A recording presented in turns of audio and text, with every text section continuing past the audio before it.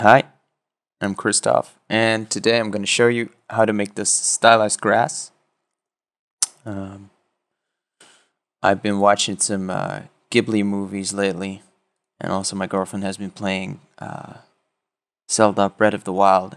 Really love this type of type of grass. I also saw this grass that apparently was in uh, real time. This is in a game engine made by uh, some Geo don't know how to pronounce the name, but uh, this looks lovely. It looks like it's painted. So I wanted to make my own version of it, and I'm going to show you how I did it. So this is what the end result looks like in Blender. This is the render, and this is uh, photoshopped and post-processed. So this is the end result, and uh, I'm really glad with how that looks. So let's get started. So let's start by opening a new Blender file. We're going to delete the cube, delete the light. going to add a plane. And this is going to be the surface for our grass. Let's call this one surface. And then we're going to add a second plane. And this is going to be our grass. So let's call this grass. Let's go to the shader editor and first, let's start with the surface. I'm going to add a new material, delete the principle, and I'm going to add an emission shader. Next up, I'm going to take this grass texture and drag it into Blender. This is going to provide the different colors, so you can paint any color you want here. And uh, that's it for the surface. For the grass, we are going to use the same material, but we're going to duplicate it. We're going to add something. We're going to add input texture coordinates UV. I'm going to connect it to the vector. And we're going to check the from instancer. The only problem right now is that Blender only supports this in cycles and not in Eevee. So to change the cycles. What this does is actually that once we add particles, all of the particles will uh, get the colors from the surface, and it's going it's going to look good. So let's go to our surface. Let's add a particle system. Let's add about 5,000 particles. Uh, I'm going to end on frame 1. Lifetime, well, as long as you need the grass, let's put it to 500. Let's go to the Render tab. Go to Object and Instance our grass. And then here, it's a scale, going to put it to 1.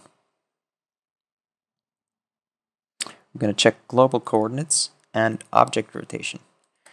So now we can rotate our grass and this will rotate all of the grass. Now of course this doesn't look like grass so we're gonna have to make it transparent. So let's add this alpha layer. So let's import this alpha layer. I'm going to add a mix shader.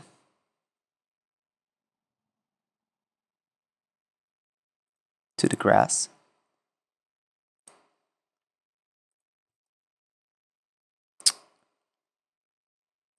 We're going to add a transparent shader.